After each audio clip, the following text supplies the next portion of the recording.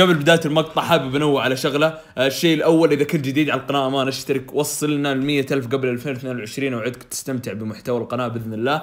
الشيء الآخر فعل جرس التنبيهات وأضغط زر like في نوصل هذا المقطع ألف like. الشيء الأخير حسابي في انستغرام راح أترك لكم إياه تحت. فارس official شرطة تحت. كثير منكم طلب مني أنزل صورة وجهي راح تلقوها في الحساب بإذن الله تحت. آه على العموم آه يا ليت يعني في النهاية. اللي ينقال في ذي الحلقة إنه ما تزعلوا منه في النهاية. هذا مجرد رأي شخصي. قد تتفق معاه وقد تختلف معاه هذا في النهاية شيء راجع لك. okay؟ okay. فنبدأ في مقطع اليوم. طبعا بسم الله الرحمن الرحيم. السلام عليكم ورحمة الله وبركاته. معكم فارس أو فارس official.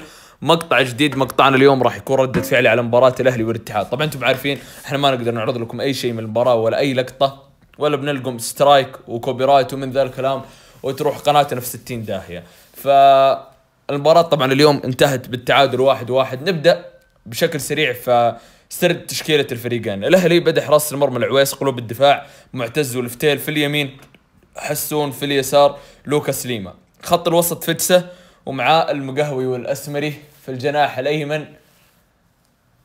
حسبنا الله ونعم الوكيل. أنا بس مقهور من كوره فتوحي. على العموم في الجناح الأيمن سلمان المؤشر في الجناح الأيسر متريتا اللي خرج مصاب من البداية تقريبا من الدقيقة 16 والمهاجم عمر السومه بينما الاتحاد حراس المرمى قروهي قلوب الدفاع حجازي والصحفي الشنقيطي يسار عبد الحميد يمين المالكي ومع الأحمدي وفي اليمين فهد وفي اليسار البيشي أو العكس وصانع لعب روماريني والمهاجم بروجوفيتش. نبدأ بشكل سريع في تقييم الفريقين. صدقا الأهلي حراسه المرمى العويس ما قصر شال عدة كور الصراحة وخصوصا الكره الأخيرة حقت فهد يوم شالها برجله. أنا توقعتها كوبري وجول وخلاص. القم يا الأهلي من جديد من الاتحاد لكن الحمد لله عدت على خير. طبعا الحين الاتحادية يقول لك صار لك سنة كاملة ما هزمتني. يلا الأيام بيننا. على العموم قلوب الدفاع معتز والفتيل يعني ما قصروا ما قصروا صدقا ما قصروا صدقا يعني. عندهم كم غلطه ما نختلف وأي لعيبة يغلطوا لكن ما قصروا. آه، في الظهير الأيمن عندك يا حبيب قلبي حسون اللي صنع الهدف وحاول يعني برضو اجتهد اليوم حسون يعني الصراحه سكت بعض المنتقدين اليوم بصناعة الهدف خصوصا. لوكاس ليما متوسط متوسط لوكاس ليما متوسط ما قصر خصوصا هجوميا ما قصر. آه الوسط فجسة الصراحة صفقة كبيرة الفجسة اللي ما يقصر دائما المقهوي مستواه اليوم متوسط يعني كذا تعرف اللي ثابت ما تغير ولا زاد ولا نقص. الأسمري متوسط برضو ما زاد ولا نقص. دخل بداله فتوح اللي ما أقول إلا خليني ساكت عشان لا تصير مشاكل قانون والى آخره لكن فتوحي يا حبيب قلبي الله يسامحك الله يسامحك على هذه الكور الله يسامحك على هذه الكور اللي قاعد تضيعها. يا ليت يعني يحطوه دكه وما عاد يلعب. ألين ما يسترجل. صدقا اللي قاعد يسويه فتوحي مرة شيء مو حلو. يا أخي يعني شوتها من قلبك شوتها من قلبك الكورة اللي أنا ودي أوريكم إياها إذا ما شفتوها. حرام حرام كان يمديها المباراة الحين 2-0 للأهلي وجمهور الأهلي فرحان لكن ما نقول له حسبنا الله ونعم الوكيل على العدو طبعا مو عليك يا فتوحي. فالجناح الأيمن المؤشر ما في ما في شيء تقوله عن المؤشر. في الجناح الأيسر متريتا اللي خرج مصاب. الله يشفيه طبعا إصابته خفيفة إن شاء الله يعني. جاء بداله الكابتن عبد الرحمن غريب اللي الصراحة ما قصر قدم مباراة كبيرة جدا والهجوم عمر السومه طبعا تبديلات الأهلي زي ما قلت لكم غريب دخل بدال متريتا بعدين عندنا فتوحي بدال آه، الأسمري ما سوى أي شيء فتوحي ونكب الفريق. نوح الموسى بدال مقهوي بس عشان يعزز الدفاع لأنه الاتحاد ضغط على الاهلي في الدقائق الأخيرة. خبراني بدال حسون في الظهير الأيمن وسلطان مندش اللي اجتهد كثير في مباراة اليوم. ف السومة اليوم برضو ما سوى أي شيء في المباراة. ابدا ابدا ما سوى شيء السومة. آه استمرارا لمستوياته العادية في الفترة الأخيرة السومة منخفض مستواه كثير.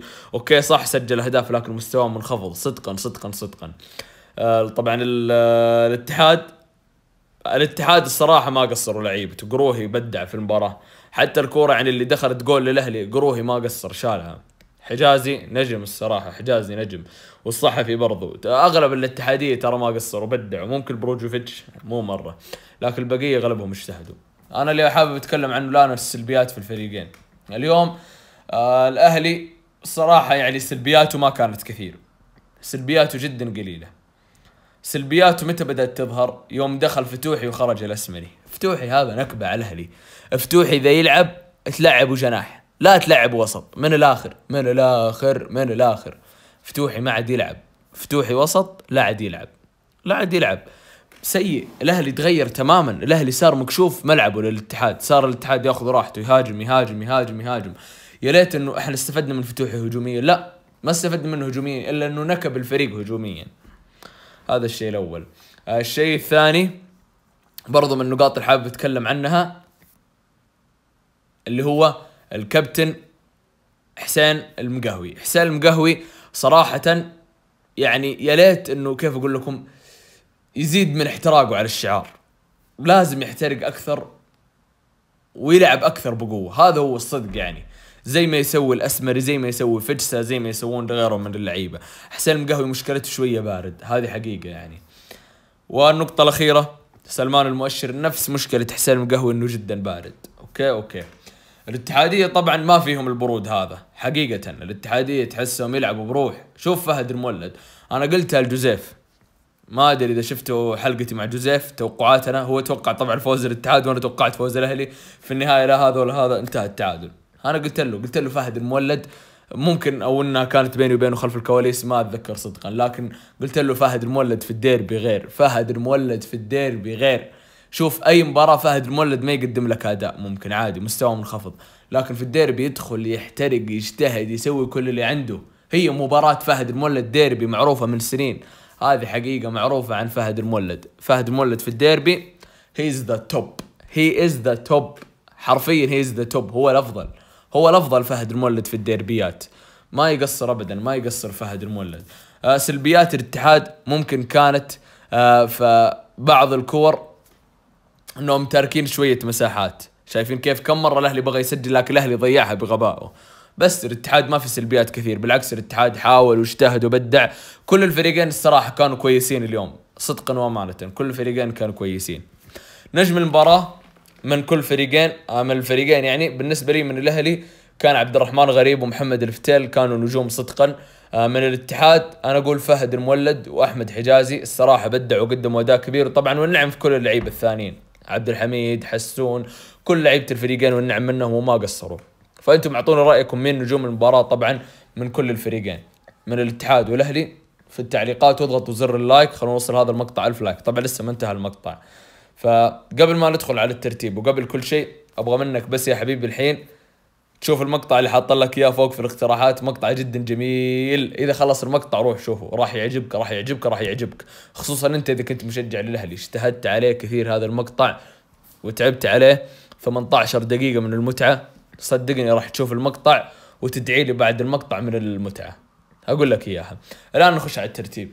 ترتيب الدوري الآن صار بهذا الشكل الشباب الأول 35 الأهلي الثاني 34 الهلال الثالث 33 الاتحاد الرابع 29 الاتفاق الخامس 27 النصر السادس 25 علما بأن الشباب والهلال والنصر لسه راح يلعبوا في هذه الجولة والشباب راح يلعب مع النصر والهلال راح يلعب مع ضمك. فإذا الأهلي إذا الأهلي يبغى ينافس على الدوري لازم الشباب يخسر. لازم الشباب يخسر أو يتعادل أمام النصر.